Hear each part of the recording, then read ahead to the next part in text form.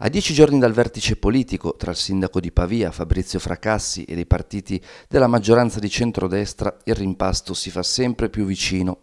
Martedì mattina è in programma infatti un nuovo incontro a Palazzo Mezzabarba.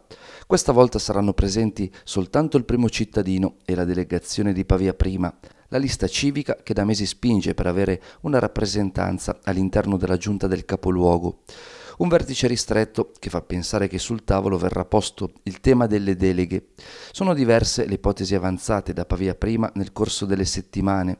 Commercio, rapporti con ASM e pari opportunità quelle maggiormente accreditate, secondo i ben informati. Difficile che la cultura in quota Lega possa invece passare alla lista civica.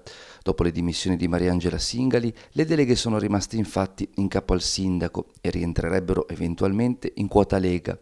È quindi possibile che oltre all'inserimento in giunta di Pavia Prima, Fracassi possa optare per un piccolo rimpasto delle deleghe tra gli assessori, magari assegnando proprio la cultura, ipotesi allo stato attuale. Il vertice di martedì mattina fornirà certamente un quadro più chiaro della situazione anche se non sarà risolutivo. Si discuterà di deleghe e Pavia Prima ribadirà il nome dell'avvocato Alessandra Quattrini come assessore. Dopo il passaggio con la lista civica, Fracassi si confronterà mercoledì con la Lega per avere via libera definitivo al rimpasto.